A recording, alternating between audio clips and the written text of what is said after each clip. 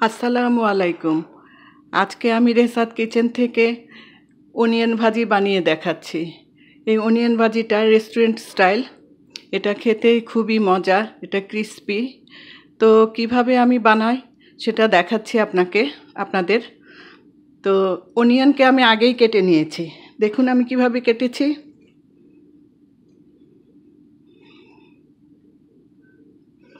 এভাবে খুব বেশি ঠিকও না, আবার একদম পাতলাও না। এভাবে কেটেছি। তো অনিয়ন ভাজি বানাতে যা যা মশলা লাগছে আমি বলছি। প্রথমে আমি দিব, প্রথমে আমি দেখাচ্ছি জিরা, হোল জিরা, ধনিয়া পাউডার, এটা আজওইন এটা মেথি সিড, এটা রেড চিলি,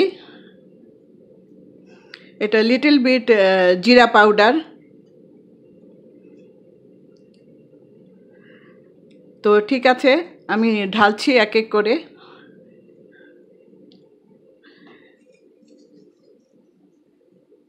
আজউইন ঢেলে দিলাম। ঢেলে দিলাম coriander powder. Whole coriander little bit jeera powder little bit red chilli powder এটা kasuri methi baking powder baking powder আমি সামান্য একটু দিয়েছি।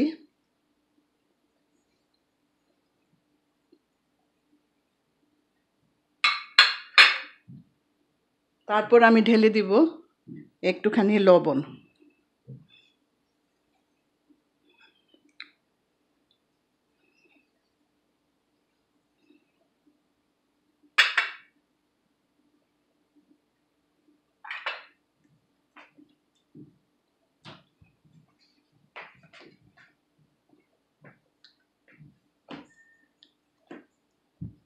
এখন আমি বেসন ঢালছি।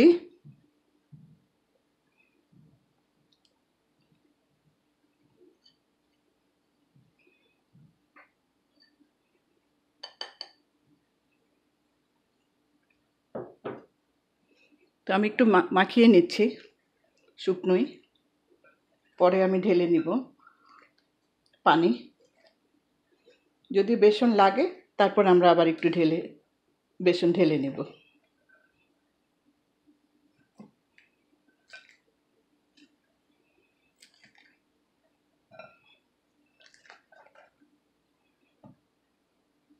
ঠিক আছে? এখন আমার দিতে হবে।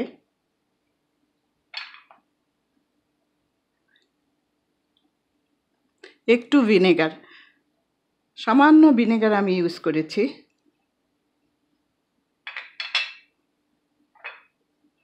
এখন দিব coriander powder. Sorry, coriander, whole coriander.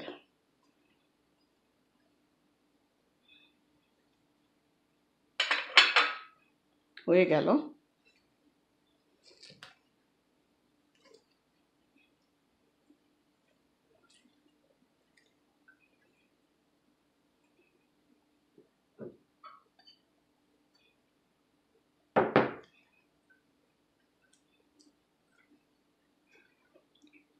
এবার আমি পানি ঢেলে নিচ্ছি।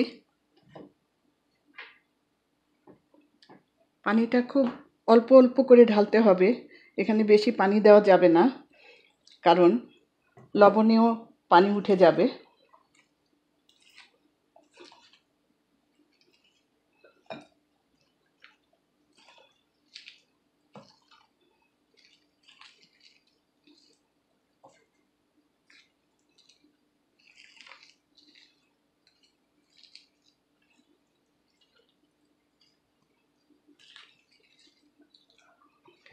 এটা হাত দিয়ে খুব জোরে জোরে ম্যাশ করা যাবে না। তাহলে এটা যে ক্রিস্পি সেটা হবে না। আর খেতেও অতটা ভালো লাগবে না। এটা খুব আলতো হাতেই করতে হবে।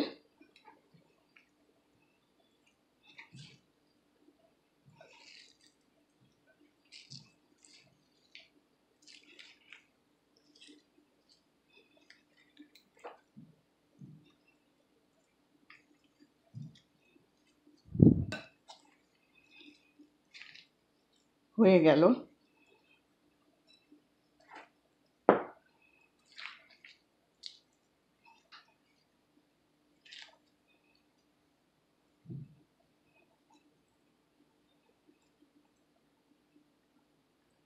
তো আমি এখন তেলে ভেজে দেখাচ্ছি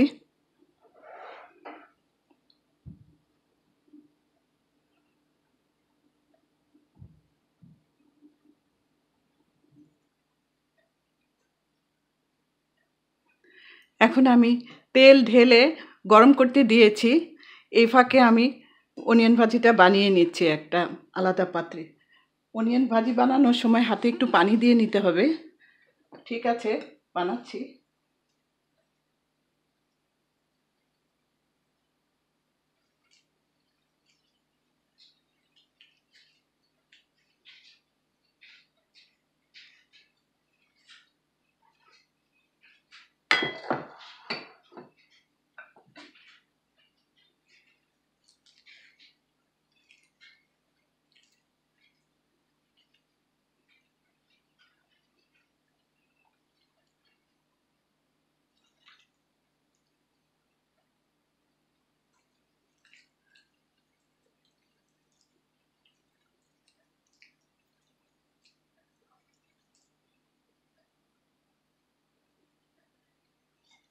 অ্যাকচুয়াল ওনিয়ন ভাজিটা ডিপেন্ড করে আপনার উপর আপনি বড় বানাবেন না ছোট বানাবেন।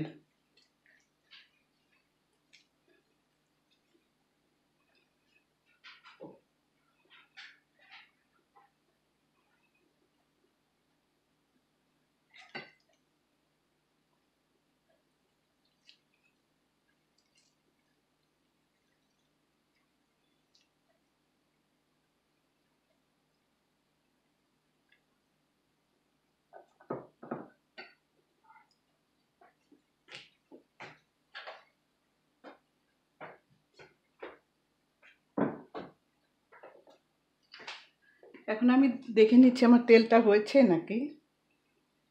এখনও হয়নি। একটুখানি সময় লাগবে।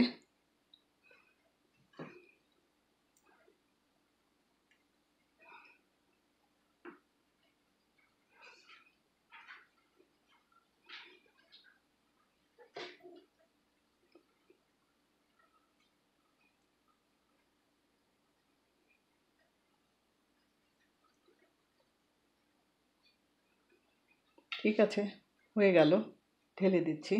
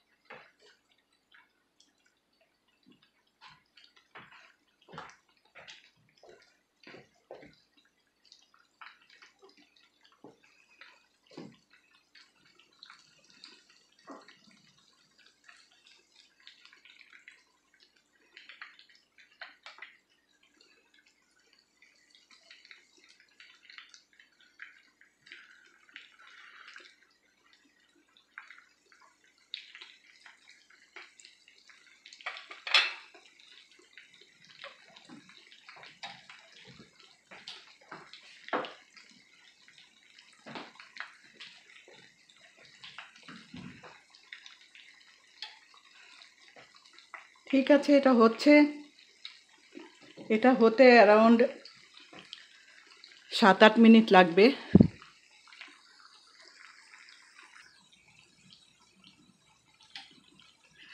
ভিউয়ার্স আমার অনিয়ন বাজিটাও অলমোস্ট হয়ে গিয়েছে। আর দুই মিনিট পরে আমি নামিয়ে নিব। নামিয়ে আমি দেখাবো আপনাদেরকে গার্নিশ করে। ফ্লিপ করে নিচ্ছি।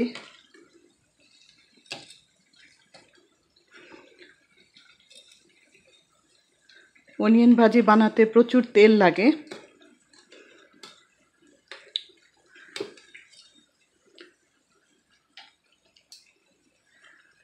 আর কম জালে অনিয়ন ভাজি হয় না, খুলে যায়। তো আপনারা কখনোই চেষ্টা করবেন না কম জালে অনিয়ন ভাজি বানাতে, কারণ অনিয়ন ভাজিটা তো একটু মোটাও আছে হেভি তো ভিতরেও কুক হওয়ার জন্য সময় লাগে, আর গরম তেলে এটা হয়ে যায়।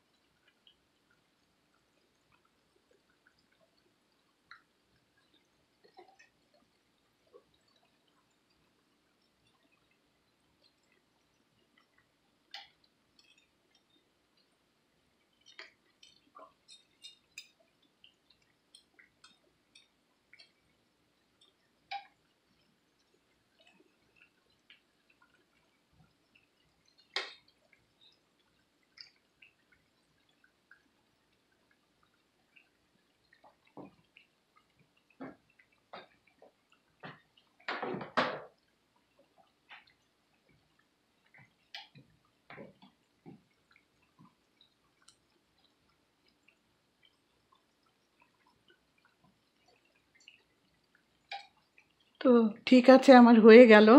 আমি একে একে নামিয়ে নিচ্ছি।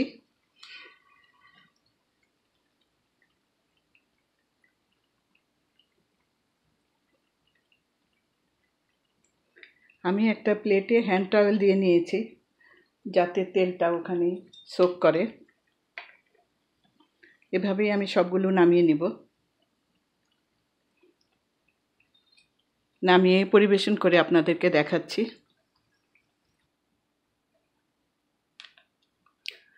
তো ভিউয়ার্স হয়ে গেল। আমি নামিয়ে আমি নামিয়ে নিয়েছি। তো এখন আমি একটুখানি চাট মশলা দিয়ে দিব উপরে। খুব বেশি না, সামান্য পরিমাণে।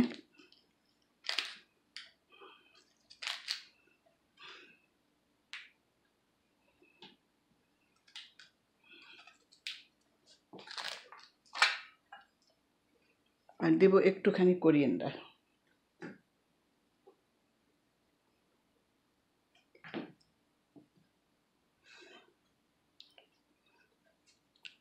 আর আমি কেচাপের সাথে সার্ভ করেছি। তো ঠিক আছে, হয়ে গেল আমার অনিয়ন ভাজি। যদি আপনাদের ভালো লাগে, আপনারা বানিয়ে নেবেন। খেয়ে দেখবেন কেমন লাগে। এটা পুরোপুরি রেস্টুরেন্ট স্টাইল। আমাকে সাবস্ক্রাইব করতে ভুলবেন না, প্লিজ। শেয়ার দেবেন এবং লাইক করবেন, প্লিজ। তো আজকের মতো আমি এখানেই রাখছি। অন্য দিন অন্য সময় অন্য কিছু নিয়ে আসব ইনশাল্লাহ আপনাদের মাঝে। আল্লাহ হাফেজ।